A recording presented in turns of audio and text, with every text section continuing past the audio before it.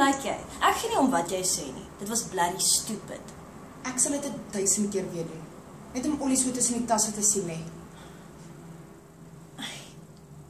Jy kon baie seer gekry het. En kyk hoe lyk jou gesig nou. Het jy enige idee hoe jy vanaand by jou partytjie gaan lyk? Ag, wat maak dit saak? Jy kan in elk geval nie kom nie. Ek moes gesê ek's jammer. My pa werk soos gewoonlik weer laat. Nee man. Weet dis nie jou skuld nie. Maar ek sweer jou pa doen dit as prins. Hy moes op 'n manier uitgevind het van die partytjie of iets. Nee, ek dink daar's moeilikheid by die werk met die ANC. En goed. Maar hy praat glad nie daaroor nie. Hy drink allerlei pille om te slaap. Maar wag dan tot hy slaap dan kom jy. Nee, jy's net nou word hy wakker. Ek het die partytjie spesiaal gereël vanaand omdat ek gedink het jy sou daar wees.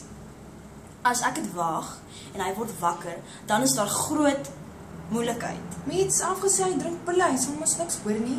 Nee. Nee, ek ek sal ek sal moet sien. Sonder jou is die partytjie niks werd nie. 'n Mens word net een keer 18, asseblief. Kom. Ek sal moet kyk. Jy is die enigste persoon wat ek daar wil hê. Asseblief. Beloof my jy sal kom. Anders kanselleer ek alles. Niks sal met jou en jou pa gebeur nie, jy sal sien.